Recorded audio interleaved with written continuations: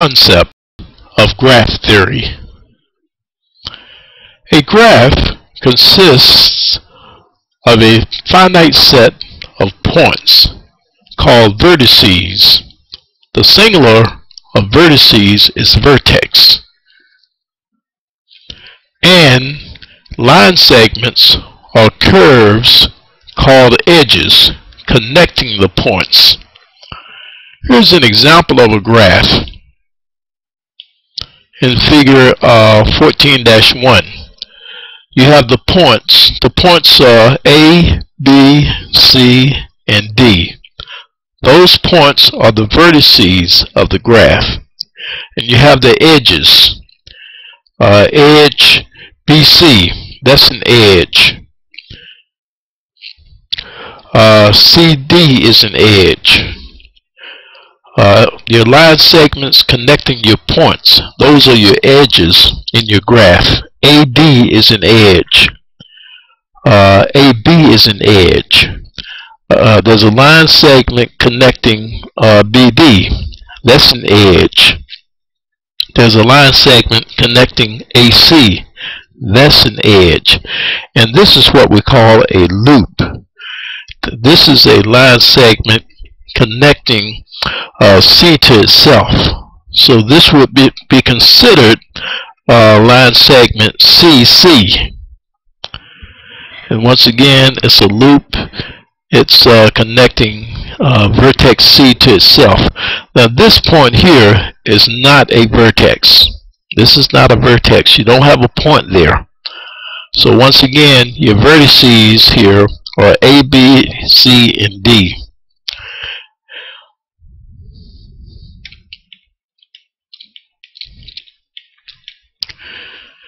Graphs can be used to picture real-world situations. For example, here is a set of islands connected by bridges. We have Alfalfa Key Island, we have Canary Island, we have Blackbeard Cay Island, and we have Duck Island. And they are connected by these bridges. So we want to represent this by using a graph, by using points and line segments. Once again, the points of vertices, the line segments are, are called edges. Now what we do in this case, uh, since uh, uh, we have different letters at the beginning of each one of the names of the islands, we can use those letters to represent our points. So we can use point A, point B, point C, and point D for our points. So we put a point at each one of these on our paper instead of these uh, islands. We just have points we would have a point for this island, a point for that island, a point for this island, and a point for that island. So we should have a total of one, two, three, four points on our paper. And then the bridges or the edges. We connect A to B. That would be one of our edges. We connect uh, C to A and we connect uh, C to B. We connect uh, B to D, we connect C to D, and we connect A to D. And that would be our graph. And that's what we have done here on the left in figure 14-3. Uh, We've tried to pretty much uh, put the points in the position that they're located in in the figure. So we have the AB here, we have the C just about in the middle there, then we have D down the bottom. And then we just put the bridges in there. A is connected to B, and these are just real bridges. We have a specific definition for a bridge uh, in graph theory but we're not using that definition now. We're just talking about a real physical bridge that connects one island to the other. Uh, so that would those would be your edges, uh, uh, the connections between the islands. So there's a connection between A and B. There's a connection between A and C. Connection between C and B. Uh, there's a bridge between C and D, so we have a connection there. There's a bridge between B and D, so we have a line segment or edge connecting that. And there's a connection between A and D. So this is the graph of that real life uh, physical situation. We have points, which are the vertices of the graph, and we have edges, uh, which are the line segments. So you have some problems uh, like this at the end of the section. You have to take real world situations and make uh, graphs for those real world situations. Uh, we can also uh, make graphs of house plans. Here's an example of a house plan. Uh, we want to make a graph for this house plan. And once again, at the end of this section, you will have some problems uh, that you will have to do. There will be some house plans at the end of this section, and you will have to make a graph for the house plan. So you look at the house plan, you see we have the outside of the house, uh, we have the living room, we have the dining room, we have the kitchen, and we have the bathroom. Now if you look at the first word uh, uh, for each one of these entities that we have here, you would notice that the first letter of the first word, uh, all of those first letters are different. So we can just use the first letter of the first word of each one of these as the points. We can use O as a point for the outside. We would put a point there. Uh, we would use a point for the living room.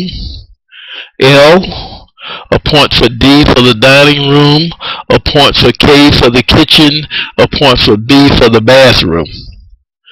So we would have one, two, three, four, five points, which represent the vertices of our graph.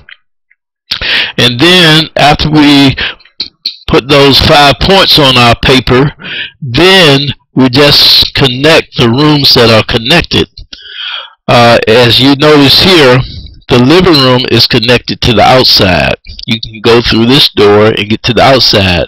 So you should have a line segment between O and L. It should be a line segment between those two points uh, the living room is connected to the dining room. So there should be a line segment between point L and point D. Uh, also, the kitchen is connected to the dining room. So there should be a line segment from L to K. Uh, the dining room is connected to the kitchen. So there should be a line segment from D to K. The dining room is connected to the bathroom, so there should be a line segment from D to B. And the kitchen is connected to the outside, so there should be a line segment from K to O. There should be a line segment from K to O. And if you look at figure 14-16, you'll see that that's what we have. We have a point for the bathroom, a point excuse me, a point for the dining room, a point or a vertex for the kitchen,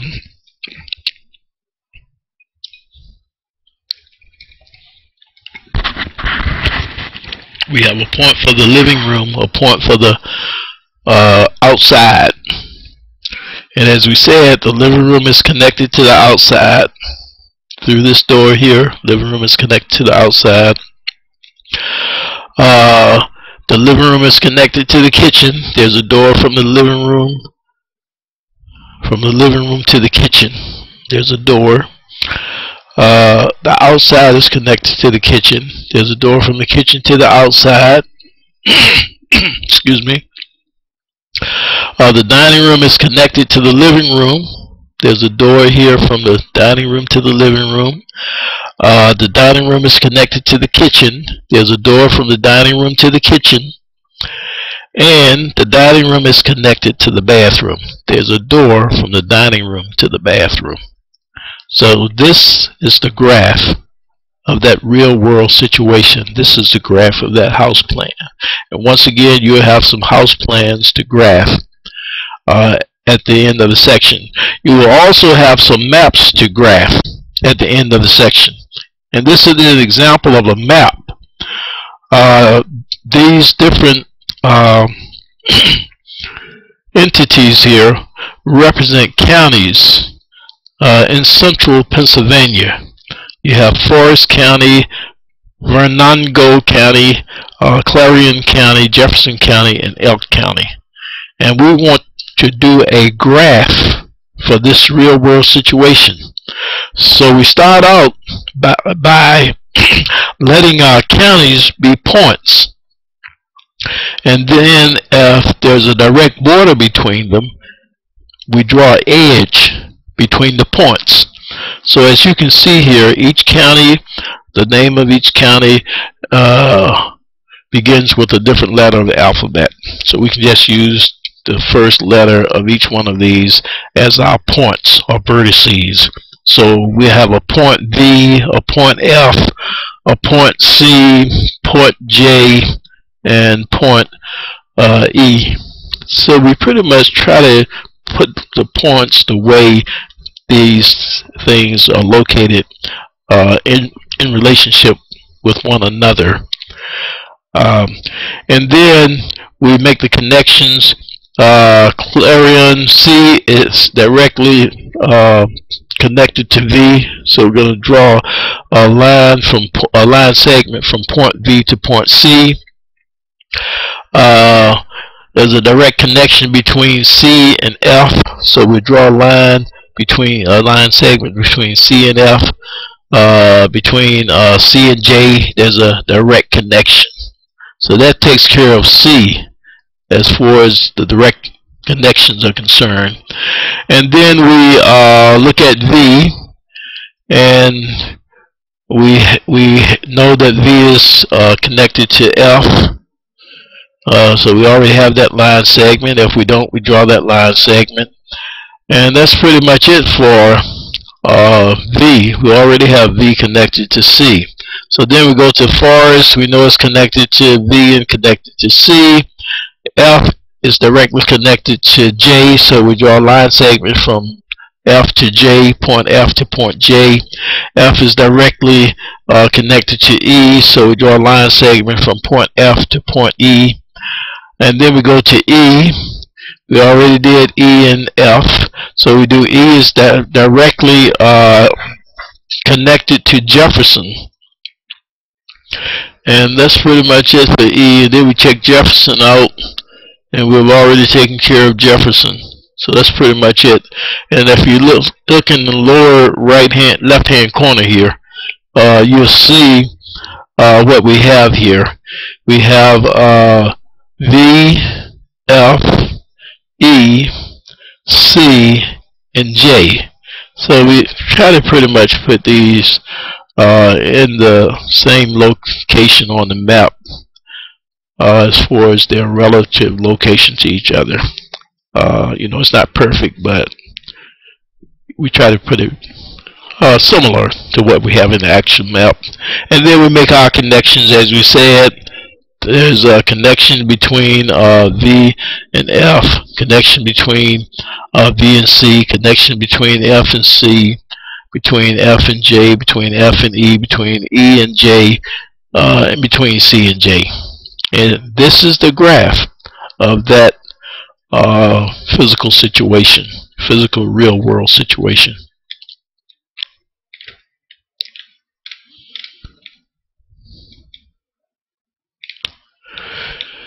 Equivalent graphs. Definition of equivalent graphs. When two graphs have the same vertices connected in the same way relative to each other, we call them equivalent. So this is the definition of equivalent graphs. You have the exact same vertices connected in the same way to one another.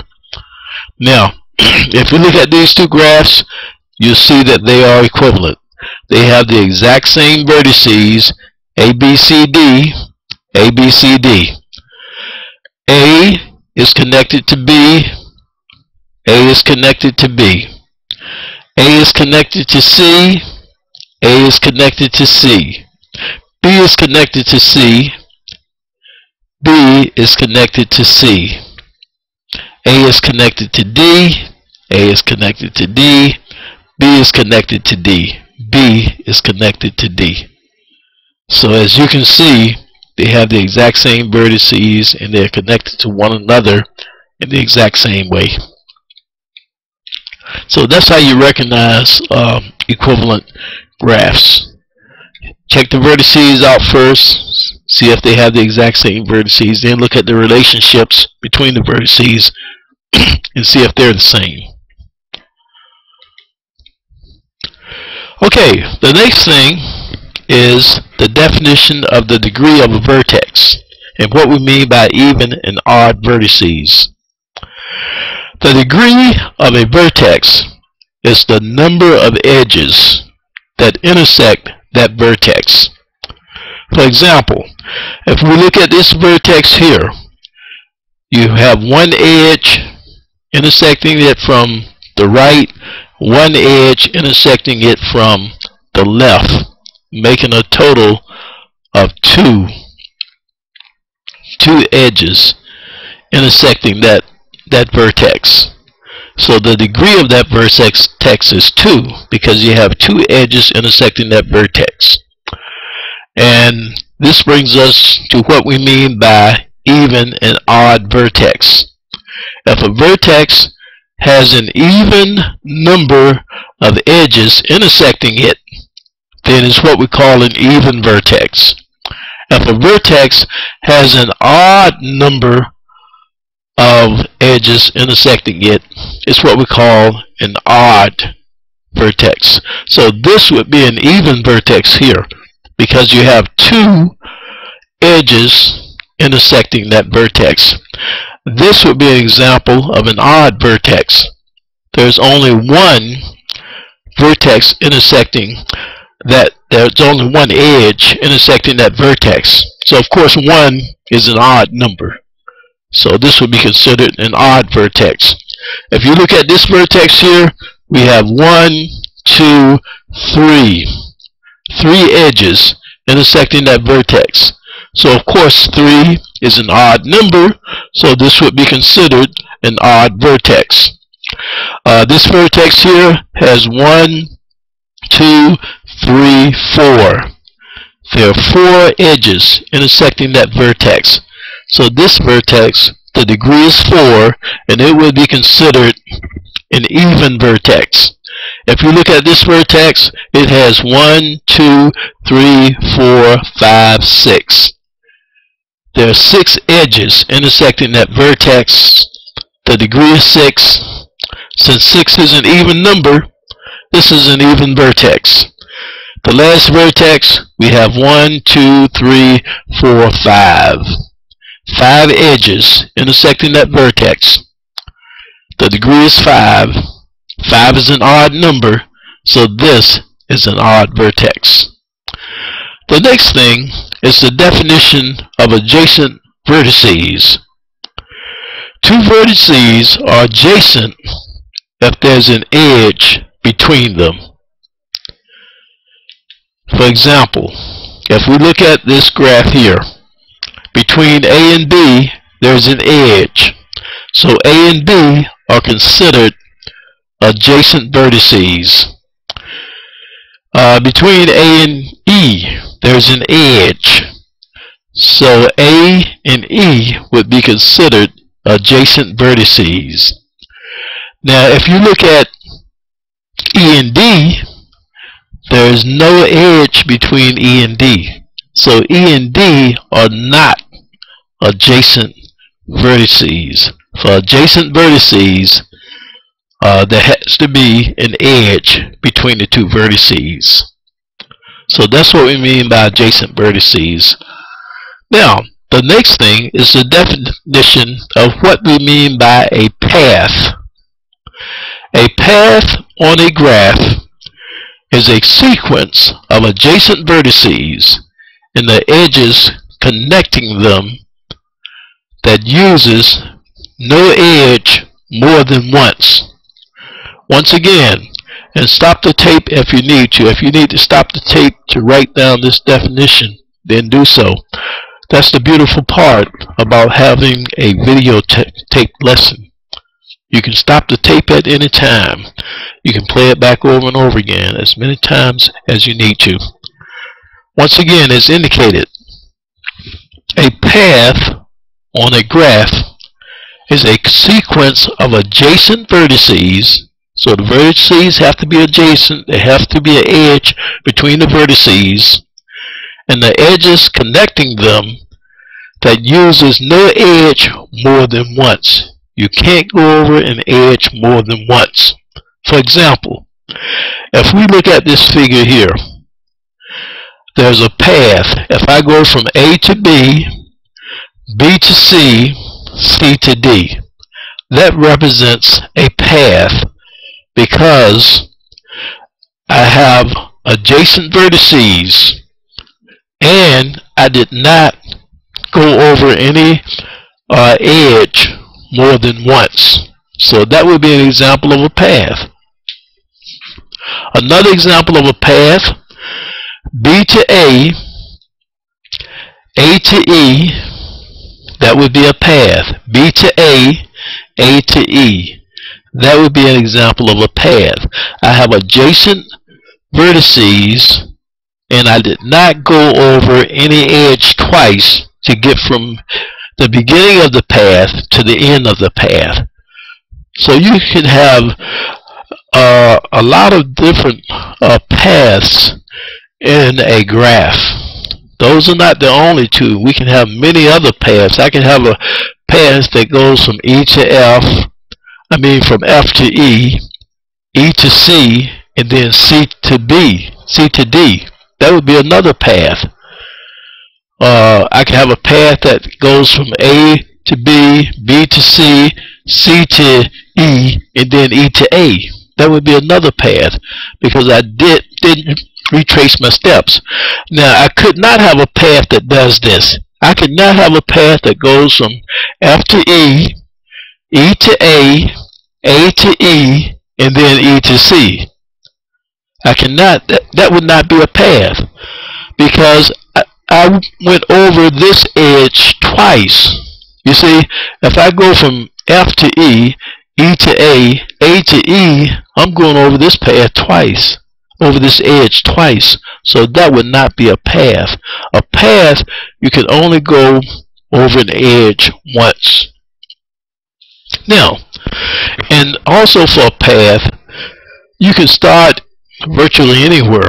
I, I started here, I can start here at A and go around in this fashion and end up at E, and that would be a path. I could start at F and end up at uh, D, and that would be considered a path. Now, the next thing that we want to talk about is a circuit. Now, a circuit is a path that ends at the place that it began. In other words, the beginning and the ending are the same when you have a circuit. You cannot uh, go over any edge twice, just like with the path. Uh, but uh, additionally, you must end up where you started. You must end up where you started. So a circuit. So an example of a circuit, if I go from A to B, B to C, C to E, and E to A, that would be an example of a circuit. I ended up where I started.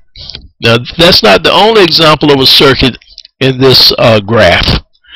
I could start I could start at point C and go from C to E, E to A, A to B, and then B to C. That would be a different circuit.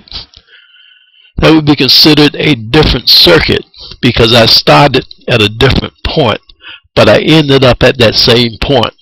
So it would be considered a circuit. So once again, you can see the difference between a circuit and a path. A path you don't have to end up at the point that you started. But for a circuit, you have to end up at the point that you started. Okay, the next thing is the definition of what we mean by a connected graph in a disconnected graph. A graph is said to be connected if for any two vertices there is at least one path that connects them. For any two vertices there is at least one path that connects them. So, uh, for example here, uh, there's a path that connects uh, F to C. Uh, there's a path that connects uh, E to D. You see, for F to C, I can say uh, F to E and then E to C. There's a path that connects all of these different points in this graph. For example, if I if I want to go from uh, A to D, there's a path that connects those two. I can go from A to B, B to C, and then from C to D. You see, that's the path that connects those two vertices, that connects those two points. So this would be an example of a connected uh, graph. This would be an example of a connected graph. Now, if you can't get a connection, then of course, if you can't find a path that will connect uh, all the points, then the graph would be considered disconnected. So basically, for a disconnected graph, you really have two separate parts of the graph and there's no path to get from one part of the graph to the other. So let's look at the examples that we have on the next page. All these graphs here are connected. Uh, you can get from any other point to any other point. Uh, there's a path that you can use to get from one point to the other. These graphs here are disconnected. If you look at these graphs here, you have two separate parts of the graph. There's no way I can get, there's no path to take me from C to B. There's no path to take me from C to A. You see, this is just one graph, but it is disconnected because I can't get from C to B. There's no path that would take me there. The same thing here. This is one graph, It's disconnected because I can, there's no path to take me to A. Uh, here, as you can see, this is one graph, but you have two separate parts, and there's no path to take you from one part to the other. So these are examples of disconnected uh, graphs. Now this shows you what we mean by a bridge. Definition of a bridge. A bridge is an edge that if you take it out of the graph, the graph will be a disconnected graph. That's the definition of a bridge. B-R-I-D-G-E. When, you, when you're dealing with graphs, this is not the bridge we were talking about a few minutes ago. The bridge we were talking about a few minutes ago was a real bridge, like Berkeley Bridge or the Jordan Bridge or the James River Bridge. But now this is a technical definition in graph theory. A bridge is an edge that if you take it out, the graph would be a disconnected graph. You see, this edge here is a bridge. If I take this edge out, I will not be able to get to point A. There would be no path to get to point A if I take, take this edge out. So this edge here is a bridge. If I take this edge out here, there will, there, there will be no path to get to E. So I would have a disconnected graph. So once again, these are considered bridges. Now, here's an example similar to some of the homework problems that you would have. You have this graph, as you can see. You, you have your vertices, you have your line segments, uh, you have your loop here. So this is a, an example of a graph. And this is what you have to do. A. You have to list the odd vertices. B. You have to list the even vertices. C. What vertex has a loop? D. Are there any bridges? And E. Identify at least one circuit. Remember a circuit, you can't uh, retrace any edges. You cannot retrace any edges and you must end up where you be where you began. You must end up where you began. Uh, now we want to list the odd vertices. So you have to look at each vertex and decide how many edges intersect that vertex. If that number of edges is an odd number, you have an odd vertex. If the number of edges that intersect that vertex is an even number, then you have an even vertex. Let's look at vertex T. Vertex T has one, two edges that intersect it. 2 is an even number, so this would be an even vertex. Vertex U, you have to check out each vertex. Vertex U has 1, 2. It has two edges that intersect it. 2 is an even number. Vertex U will be an even vertex. Vertex V has 1, 2, 3. It has three edges that are intersecting it. Therefore, since 3 is an odd number, it would be considered an odd vertex. Vertex Y has 1, 2, 3, 4. It has four vertices intersecting it. 4 is an even number. Vertex Y will be considered an even vertex. Vertex Z has only one edge that intersects it, 1 is an odd number, therefore vertex Z is an odd vertex. Vertex X has 1, 2, 3. It has three edges that intersect it. 3 is an odd number. Therefore, vertex X would be an odd vertex.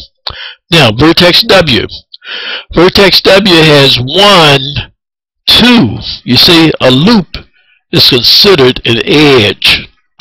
So vertex W really has two edges that intersect it. So vertex W is an even vertex. And I, I, I think that you can see that vertex W is a uh, has a loop. Vertex W has a loop. Are there any bridges? Bridges? Remember, a bridge is a part that if you take it out, you will have a disconnected graph. So are there any bridges? Do you see any edges that if you take that edge out, there'll be a disconnected graph? Do you see any edges like that?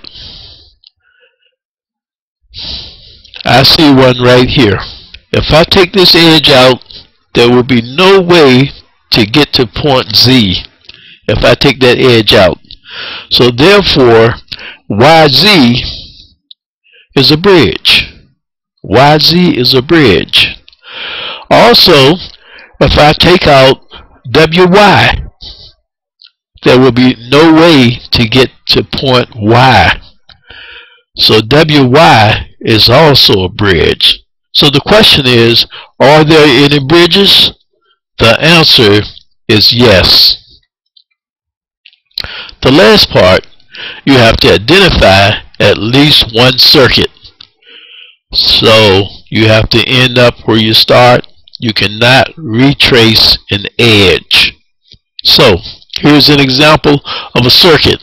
If I start at point T, go from T to U, U to V, V to X, and then back to T. That would be an example of a circuit I ended up where I started and I didn't retrace any edges. So there are other examples of circuits in this figure also.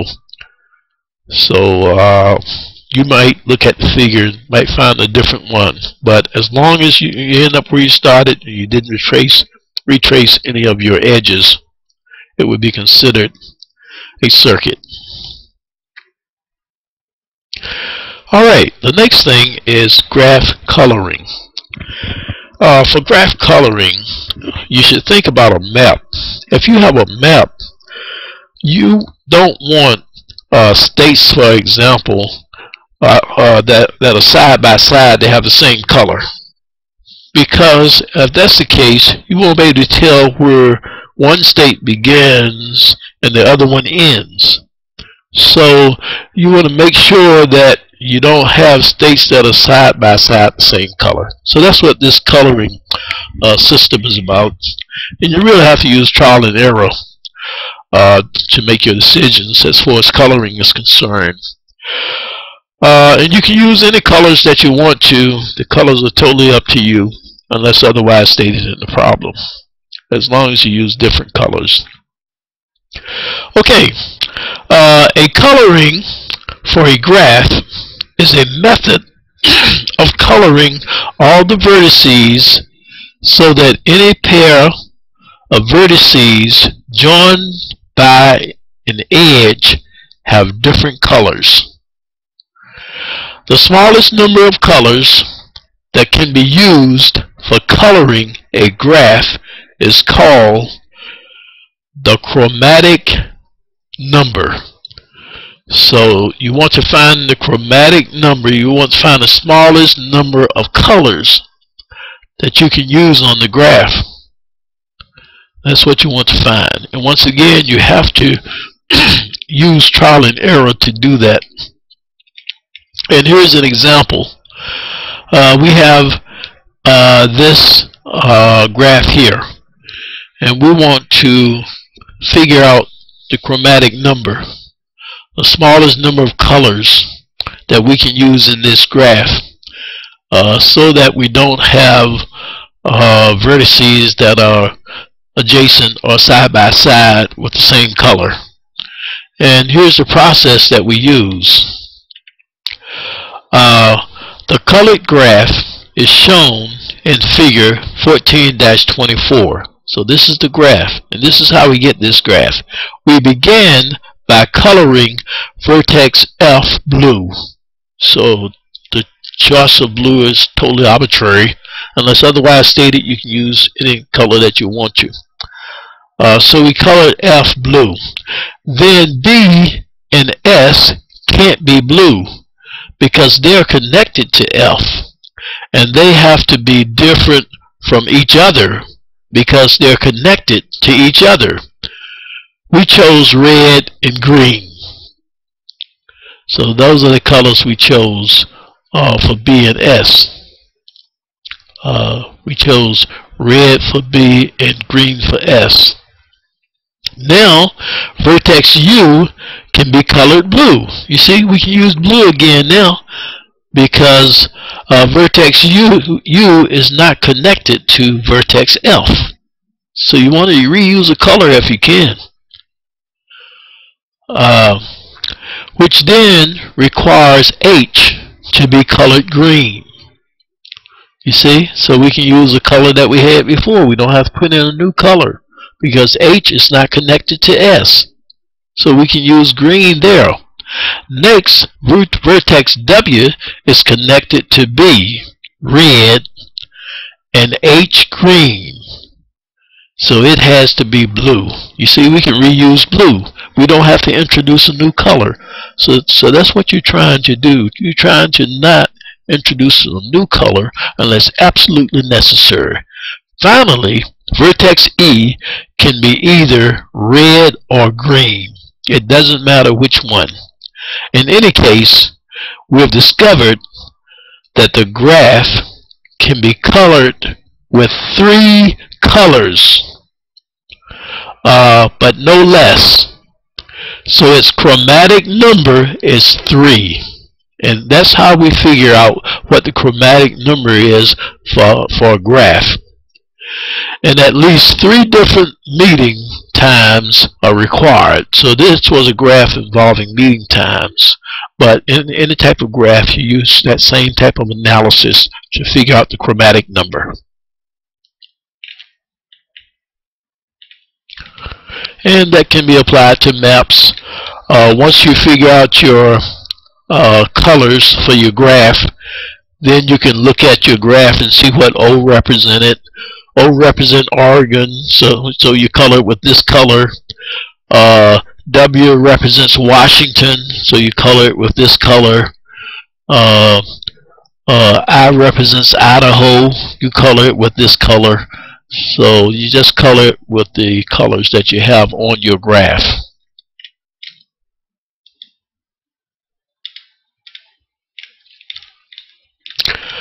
Okay, uh, for homework on this section, homework on uh, 14-1, uh, uh, page uh, 844, you want to do problems 13 through 24, number 25, number 27, number 31, number 38, and number 39.